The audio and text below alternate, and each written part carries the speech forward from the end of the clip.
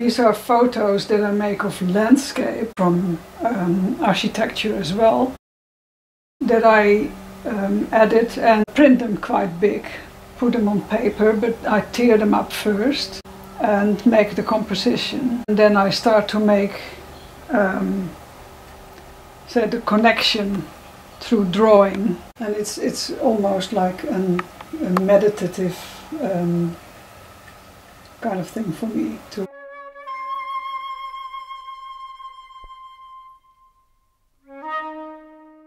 So, how did the idea of the floating come about?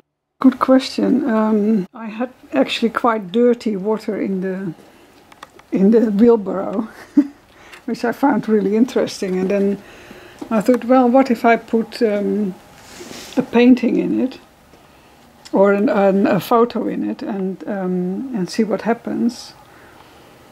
And then I started to actually put all kind of materials, um, and and some things work and other things I don't think they, they work. So you have Mm. to ma- you have to keep it a bit abstract, I Mm. think, to not make it too obvious. I can always edit the composi- composition, but I don't like that. I like to to make it so that I have the composition as it is. Either use one or two um, that I really like, and then that I actually can see that I can do something with, with it. Already three dimensional, so it's different. First ideas of photos that I took with different materials underwater, like aluminium and uh, the paper bark. So this is one of the one that I um, I call 3D collage because it's um, floating in water.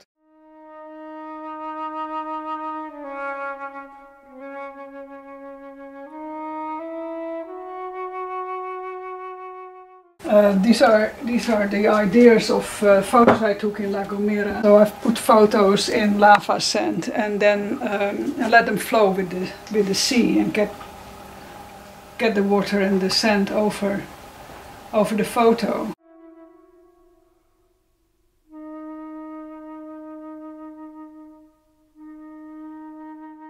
And I use the composition of the different textures. So this is not nearly finished. I need to make that coming out a lot more.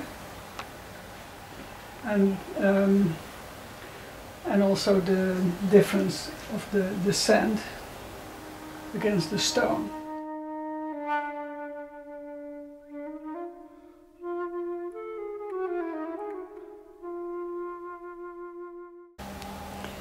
So this was the exhibition in um, close to Lecce. Also the photos that I made underwater and this was for an exhibition about mystic books in Italy. I used them in collages but I also call the photos collages.